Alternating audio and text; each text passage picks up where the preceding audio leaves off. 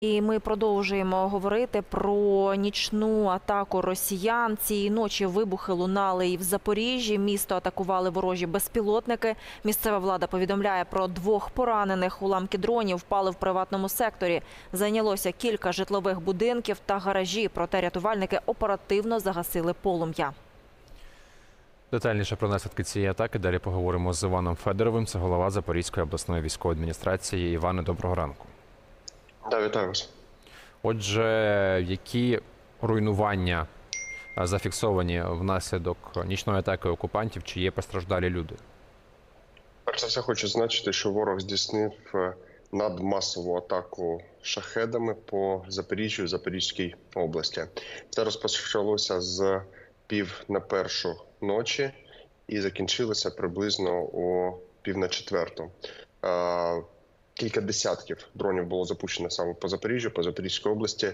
Я хочу подякувати перш за все нашим збройним силам України, які е, всю ніч е, вражали і знищували ворожі дрони, і це здебільшого вдалося. Тож е, переважна більшість дронів не долетіла до своїх цілей і не зруйнувала не житлові будинки, не е, нашу критичну інфраструктуру. На жаль, ворог все ж таки а, влучив трьома дронами шахедами по нашим житловим будинкам, е, житловим кварталам, які не мають жодного відношення до військової інфраструктури. Там не знаходились військові, ніколи не були військові. Там суто спали наші цивільні мешканці, і ворог в цей час вразив. Три основні точки, три основні локації: це вулиця Скворцова, Арктична та Батарейна. Там, де зруйновані наразі житлові будинки. На жаль, дві людини поранено, дві людини госпіталізовано. Наразі знаходяться в міських лікарнях. Їм надається допомога Е, спільно з підрозділами національної поліції. е, ДСНС були врятовані ці люди і доставлені безпосередньо в лікарню. Наразі ми можемо фіксувати те, до чого добралися комунальники та рятувальники, що повністю зруйновано декілька будинків, і ще у а, приблизно 10-12 будинків. Вибуховою хвилею вибито а, вікна, зруйнований дах. А, Це наразі буде основна задача комунальників та всіх спеціалізованих служб для того, щоб розібрати завали, ідентифікувати е, безпосередньо зруйнованість будинків і таким чином розпочати відновлення та допомогу нашим мешканцям. Пане Іване, а ці люди, що мешкали в будинках, які зруйнував ворог своєю черговою атакою, який прифисток їм надали? І ті, у яких пошкоджені елементарно вікна, яку допомогу і е, коли отримують, як швидко? Е, Вже сьогодні, е, буквально годину, е, де- де- точніше півгодини тому, ми провели нараду спільно з місцевою владою. Е, Наразі буде проведена обласна комісія ТЕБНС. З матеріального резерву буде видана деревина, буде видано шифер для того, щоб оперативно розпочати е, відновлення будинків та зруйнованих дахів. Е, Що стосується вікон, то буде трохи довше, тому що е, потрібно буде виготовлення, але є оперативна можливість забити вікна ОСБ для того, щоб е, убезпечити потрапляння е, в будинок та подальше руйнування будинку. Е, Що стосується допомоги, також всі мешканці зможуть е, найближчим часом зафіксувати в державній програмі є відновлення е, ті втрати, які понесені, і після того будуть отримувати компенсацію. Також за допомогою спеціалістів обласної влади, міської влади. Ми це будемо допомагати робити для наших мешканців, щоб вони максимально швидко могли все відновити. Але наразі наша основна мета це закінчити розбір завалів та провести детальну інвентаризацію того, що е, відбувається відбулося, точніше безпосередньо сьогодні вночі. Іване, уточню, е, йдеться про саме прямі влучання безпілотників е, в будинки, тому що ми говорили з пані Гуменюк, вона розповідала лише про уламки, які падали на місто. Сьогодні е, робу- працюють спі, е, спільні слідчо-оперативні групи, які чітко ідентифікують, чи це було пряме влучання в будинок, чи це були уламки, які влучали в будинок. Але наразі по тим оперативним даним, які ми маємо, то так є прямі влучання ворожих шахедів в наші цивільні будинки. Пане Іване, а яка зараз ситуація на Дніпрогес? Що там відбувається? Е, Сьогодні на Дніпрогес ми бачимо, що е, завдяки е, роботі патрульної поліції, місцевої влади, безпосередньо співробітників Дніпрогес та служби відновлення нам вдалося налагодити систему та переорієнтувати рух транспорту в місті Запоріжжя таким чином, що заторів майже немає. Ми фіксували, що перші дні після того, як ворог зруйнував половину дороги на Дніпро ГЕС, були затори. Мешканці від 10 хвилин до 30 хвилин могли чекати в заторах, даби добратися з одного е, берега е, річки Дніпро на інший. Наразі таких заторів не існує.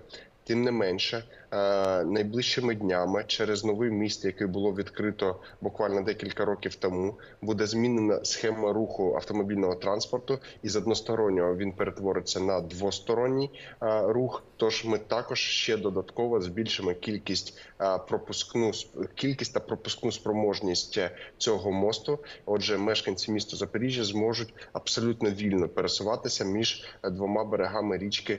Дніпро Е, також найближчим часом я сподіваюся, що ми отримаємо заключення інституту проектних організацій та підрядних організацій, що треба зробити для того, щоб в найкоротший час відновити повноцінний рух через греблю Дніпрогес і відновити ту зруйновану частину. Я нагадаю, що в минулу п'ятницю ворог під час ракетних е, атак на місто Запоріжжя зруйнував е, половину.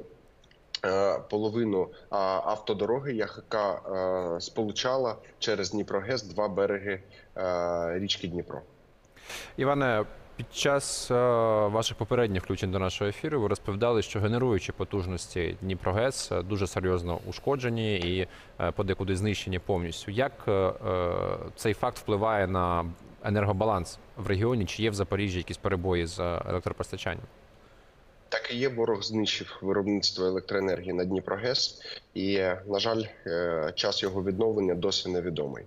Е, Але тим не менше, сьогодні на території Запорізької області, якщо ми не беремо наближені до лінії бойових дій 50 населених пунктів, то немає перебоїв з постачанням електроенергії.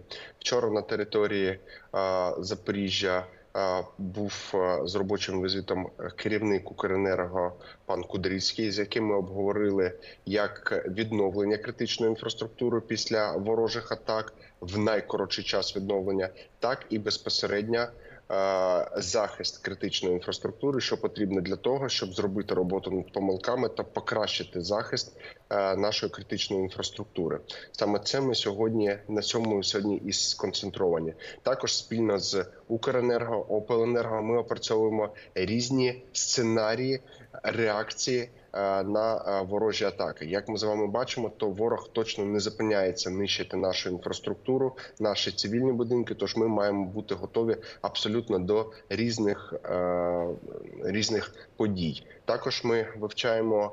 е, На жаль, недобрий, але досвід Харкова, який в блекауті прожив декілька днів в повному блекауті. Наразі е, найближчими днями наші служби е, відвідують Харків для того, щоб вивчити досвід, вивчити помилки, вивчити те, з чим наші колеги і наші мешканці е, зіштовхнулися під час блекауту, для того, щоб у разі такого на території Запорізької області ми могли швидше зреагувати, вивчаючи досвід наших колег, які на жаль постраждали на минулому тижні. Пане Іване, а хто із наших західних партнерів активно допомагає у відновленні регіону? Сьогодні ми бачимо, що є фонди, є міжнародні організації, які допомагають нам з якраз з встановленням вікон.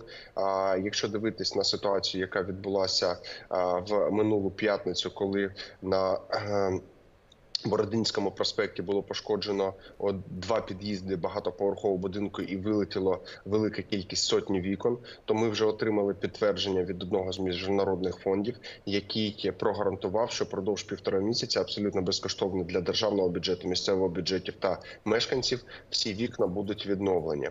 Також сьогодні ми продовжуємо комунікувати з е, нашими партнерами для того, щоб вони включалися та допомагали також нам з відновленням відновленням всієї інфраструктури.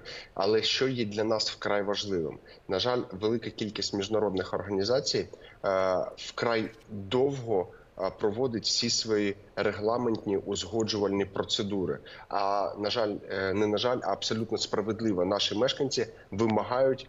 Е, Щоб це було якомога швидше, тому що вони хочуть повернутися до своїх квартир, своїх будинків. Саме тому сьогодні, спілкуючись з нашими міжнародними партнерами, ми їх е, ми акцентуємо увагу, що нам допомога потрібна надшвидко для того, щоб відновити все те, що ворог знищив, і наші мешканці мали змогу повернутися додому. Пане Федоров, що вам відомо про ситуацію на тимчасово окупованій території Запорізької області? Чи е, траплялися там якісь надзвичайні події останнім часом? Е, Надзвичайно радісні події там траплялися останнім часом, коли е, наші спецслужби е, нищать ворожу міць е, глибоко в тилу. Ми можемо це бачити на прикладі мого рідного тимчасово окупованого Мелітополя, в якому вчора лунали вибухи, і ми розуміємо, що ці вибухи призвели до ворожих втрат та втрат ворожого озброєння. Але також ми бачимо, що на жаль, сьогодні тимчасово окуповані території це територія, де ворог після того, як провели фейкові вибори терориста Путіна, продовжує масово проводити е, фільтрації для мобілізації. Про що я маю на увазі? Ворог сьогодні максимально намагається фіксувати всі дані наших мешканців, максимально намагається фіксувати всі дані чоловіків призовного віку для того, щоб ставити їх на облік, і для того, щоб повноцінно контролювати всіх чоловіків, хто може стати до лав збройних сил Ерефії. Таким чином є загроза про те, що пріоритетно під час того, як ворог Путін оголосить мобілізацію, пріоритетно будуть мобілізуватися самі наші мешканці з тимчасово окупованих територій. Пане Іване, а як щодо свободи слова на тимчасово окупованих територіях? Ви у своєму телеграм-каналі писали, що от людину, 34-річного мелітопольця, затримали за коментарі у телеграм-каналі, причому ті, які він робив ще у 2022 році. Я думаю, що коли ми ставимо слово сполучення окуповані території свобода слова, це абсолютно з різних вимірів е, словосполучення. Не існує свободи слова, а існує переслідування будь-кого, хто інакше мислить, ніж так, як ворог того вимагає. Сьогодні ми бачимо, що переслідують людей, навіть якщо в них в під час фільтрації перевіряють телефони, і в історії фотографій з 15, 16, 17, 20 років знаходять їх в будь-якому одязі з національною українською символікою, то для ворога це означає, що це вже терорист, це вже та людина, яка несе загрозу терористу Росії. Тому е, сьогодні ворог максимально закрив і вакуумує все те, що відбувається на е, тимчасово окупованих територіях, і доступ тих людей, хто не знаходиться на тимчасово окупованій території, до вільної інформації. Дякуємо вам за те, що долучилися до нашого ефіру цього ранку. Іван Федоров, голова Запорізької обласної військової адміністрації, був з нами на прямому зв'язку. і Розповів, зокрема, що внаслідок атаки з використанням шахедів цієї ночі росіяни знищили кілька будинків у Запоріжжі. Ще понад е, десяток будинків серйозно пошкоджені. Також відомо про двох постраждалих людей станом на цю мить, але розбір заварів ще триває.